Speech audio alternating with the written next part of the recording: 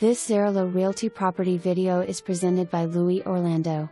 This is a gorgeous, two bedroom, two full bathroom, corner unit that is move in ready. Very desirable, modern open concept design. No expense was spared in upgrading this spectacular unit.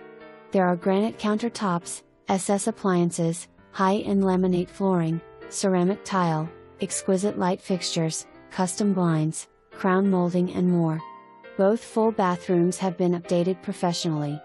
There is plenty of closet space, double in the master bedroom. Heated garage number 28, in unit laundry, storage space number 39, 16 by 6 balcony with wonderful south slash west views are just some of the amenities. Maine South High School. Nothing not to like about this desirable unit. For more information,